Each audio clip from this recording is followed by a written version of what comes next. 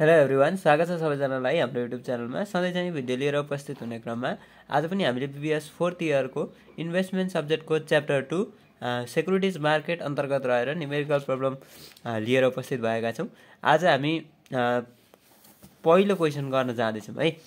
Problem number two point one भनेर दिएको छ। क्वेसन यस प्रकार रहेको छ। Assume that you purchase one thousand shares of common stock at rupees five hundred per share and sold them one year later. Assume also assume that the stock did not declare dividends. What would be your rate of return if you sold them at rupees six hundred rupees five hundred and rupees four hundred भन्यो है क्वेसनले के भन्दैछ भने तपाईँले चाहिँ एक हजार share of common stock common स्टकको चाहिँ एक हजार सेयर किन्नुभयो अरे पाँच सय रुपियाँ गोटाले है भनेको एउटा सेयरको भ्यालु चाहिँ पाँच सय रुपियाँ छ अरे अनि and sold them one year later अरे क्या? तपाईँले एक वर्ष पछाडि चाहिँ त्यो जुन किन्नुभएको थियो हजार सेयर त्यो सेयर चाहिँ बेच्नुभयो अरे। Also assume that the stock did not declare dividends भन्दैछ। भनेको त्यो स्टकले चाहिँ कमन स्टकले चाहिँ डिभिडेन्ड बाँडफाँड गरेन अरे। भनेको डिभिडेन्ड दिएन छ है? डिभिडेन्ड दिएन छ। अनि what would be your rate of return if you sold them at भन्दैछ क्या? तपाईँको रेट अफ रिटर्न कति हुन्छ? भन्नको मतलब के हो त? हामीलाई क्वेसनले सोध्दैछ rate of return rate of return R निकाल्नु पर्ने छ। यदि तपाईँले छ सय रुपियाँ बेच्नु भने रेट अफ रिटर्न कति? त्यो पाँच सय रुपियाँवाला। पाँच सयमा किनेको थियो छ सयमा बेच्नुभयो भने रेट अफ रिटर्न कति? जहाँ जब कि त्यो कमन स्टकले चाहिँ तपाईँलाई डिभिडेन्ड चाहिँ दिँदैन भनेर भनेको छ है। अनि त्यस पछाडि अर्को चाहिँ पाँच सयमै बेच्नुभयो भने कति रेट अफ रिटर्न हुन्छ? र अर्को चार सयमा बेच्नुभयो भने रेट अफ रिटर्न कति हुन्छ भनेर हामीलाई क्वेसनले चाहिँ तिनवटा कन्डिसनमा सोधेको छ रेट अफ रिटर्न है अब हामी सोल्युसन गर्छौँ। ल सोल्युसन यस प्रकार रहेको छ। पर्चेस प्राइस भनेको हामीले पाँच सय रुपियाँमा चाहिँ किनेको छौँ है। पाँच सय रुपियाँ किनेको छौँ। जम्मा share number of share purchase भनेको चाहिँ कति छ त? एक हजार सेयर छ।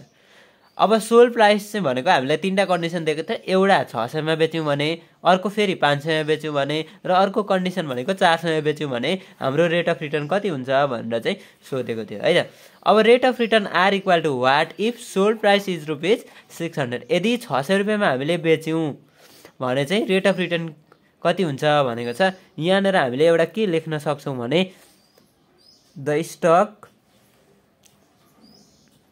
did not declare did not declare dividend भनिदिउँ ल डिभिडेन्ड चाहिँ दिएको छैन नि त। डिभिडेन्ड चाहिँ दिएको छैन। है यो हाम्रो क्वेसनमै दिएको कन्डिसन हो। यो चाहिँ छैन। अब रेट अफ रिटर्न कति हुन्छ भनेर चाहिँ हामीलाई सोधेको छ है। अब रेट अफ रिटर्नको फर्मुला के हो त? यो पर्चेजको केस हो। पर्चेज भनेको लङ पोजिसन लङ पोजिसनमा रेट अफ रिटर्नको फर्मुला भनेको P one minus P zero plus यो डी वान अथवा सी वान है। डी वान भनेको डिभिडेन्ड इन्कम इन्कम अथवा यसलाई हामीले सी वान पनि लेख्न सक्छौँ। सी वान भनेको पनि क्यास यो डिभिडेन्ड भनेको हाम्रो क्यासमा आएको हुन्छ भन्ने हिसाबले चाहिँ क्यास इन्कम भनिदिन्छौँ ल क्यास इन्कम भनेको नि यो डिभिडेन्ड पनि क्यास इन्कम न्यू फर्मुलामा चाहिँ सी वान अथवा डी वान जे लेखे पनि फरक चाहिँ पर्दैन है। पी वान पी वान भनेको के हो त? इन्डिङ प्राइस अथवा सेलिङ प्राइस पी जिरो भनेको पर्चेज प्राइस र डी वान भनेको चाहिँ अथवा सी वान भनेको चाहिँ डिभिडेन्ड इन्कम अथवा क्यास इन्कम हो। अनि डिभाइडेड बाई चाहिँ पी जिरो हाम्रो रेट अफ रिटर्नको फर्मुला भयो अब यदि हामी त्यो स्टक चाहिँ कतिमा बेच्दैछौँ त? छ सयमा बेच्दैछौँ भने पी वान भनेको छ सय माइनस पी जिरो भनेको कति त? पाँच सय plus D one. D one अथवा सी वान भनेको चाहिँ हामीलाई क्वेसनले के भनेको छ? The stock did not declare dividend dividend चाहिँ दिँदैन है भनेर भनिरहेछ। भनेपछि यो जिरो भयो। डिभाइडेड बाई पी जिरो भनेको सुरुमा हामीले किनेको प्राइस पाँच सय रुपियाँ है। अब रेट अफ रिटर्न कति आउने भयो त? छ सय माइनस पाँच सय डि डिभाइडेड बाई पाँच सय भनेको सय भाग पाँच सय।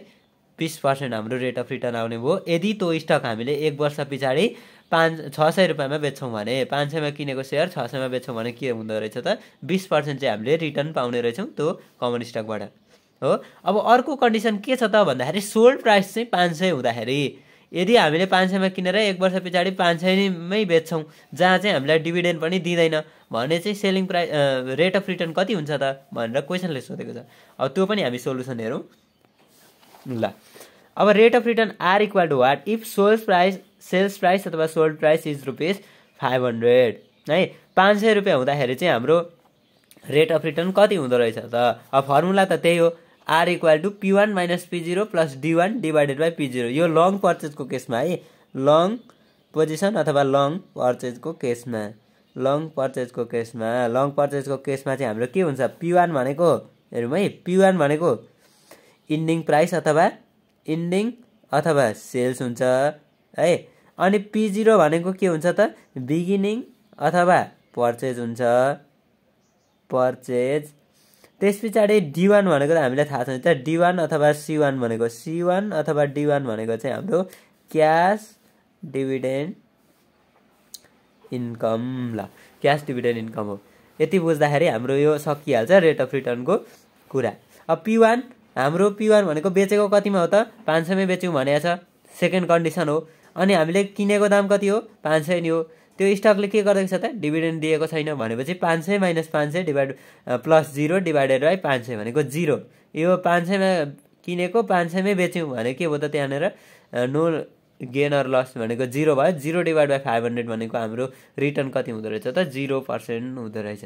है जिरो पर्सेन्ट चाहिँ हाम्रो रेट अफ रिटर्न हुँदो रहेछ। यदि हामीले पाँच सय रुपियाँ किनेर होल्ड गरेर एक वर्ष होल्ड गरेर पाँच सयमै बेच्यौँ भने चाहिँ त्यहाँनिर नो रिटर्न अथवा रिटर्न चाहिँ हामीले प्राप्त गर्न सक्ने रहेनछौँ। अब अर्को केस के थियो त भन्दाखेरि यदि सेलिङ प्राइस चाहिँ चार सय भयो भने पाँच सयमा हामीले किनेको थियौँ।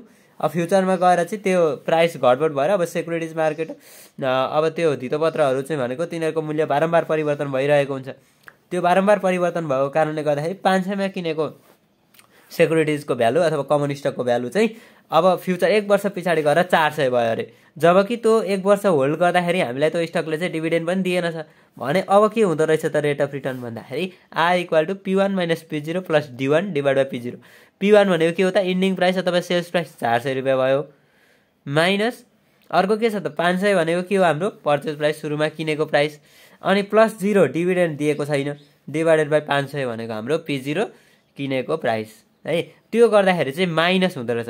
चार सय माइनस पाँच सय भनेको के हो त? माइनसमा आयो। माइनस सय भागा पाँच सय भनेको माइनस बिस प्रतिशत हुँदो रहेछ क्या। माइनस बिस प्रतिशत हुनु भनेको चाहिँ हामीलाई त्यहाँबाट चाहिँ जुन त्यो रिटर्न रेटबाट जुन छ चार सय रुपियाँ छ त्यसबाट चाहिँ हामीलाई रिटर्न नेगेटिभ रिटर्न हुँदो रहेछ अथवा रिटर्न प्राप्त हुँदो रहेन रहेछ भन्ने हो। भनेको घाटा भयो नि त। किन भन्दा चार सयमा चाहिँ हामीले बेच्यौँ पाँच सयमा किनेको सामान। त्यसमा चाहिँ डिभिडेन्ड सिभिडेन्ड केही छैन। त्यस कारणले गर्दाखेरि यो कन्डिसनमा चाहिँ हामीलाई घाटा भएको छ। सुरुमा हामीले छ सयमा बेच्दाखेरि बिस पर्सेन्ट नाफा भयो। त्यस पछाडि पाँच सयको पाँच सयमै बेच्दाखेरि चाहिँ हामीलाई नाफा पनि भएन घाटा पनि भएन जिरो पर्सेन्ट भयो। त्यस पछाडि रेट अफ रिटर्न यदि हामीले चार सयमा बेच्यौँ भने चाहिँ के भयो त? बिस पर्सेन्ट चाहिँ घाटा भयो।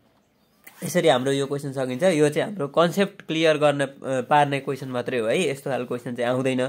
तर पनि यो दुई मार्क्सको लागि चाहिँ इम्पोर्टेन्ट हुनसक्छ। एउटा मात्रै कन्डिसन दिएको होला क्या। यदि हामीले यतिमा किनेको यतिमा बेच्यौँ भने त्यहाँनिर रेट अफ रिटर्न कति हुन्छ? लङ पोजिसन अथवा सर्ट पोजिसनमा भनेर सोध्न सक्छ।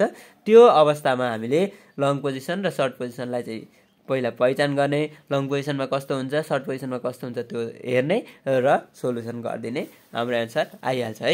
ल आजलाई हामी यति गर्छौँ। तपाईँहरूलाई यो भिडियो कस्तो लाग्यो मन परेमा लाइक कमेन्ट सब्सक्राइब अनि आफ्नो साथीहरूलाई सेयर गर्न नबिर्सिनु होला र च्यानलमा नयाँ हुन्छ भने च्यानल सब्सक्राइब गरेर नजिकै रहेको बेलायकन क्लिक गरिदिनु होला ताकि हामीले अपलोड गरेको नयाँ नयाँ भिडियोहरू चाहिँ नोटिफिकेसन मार्फत तपाईँहरूलाई तुरन्त प्राप्त हुनेछ।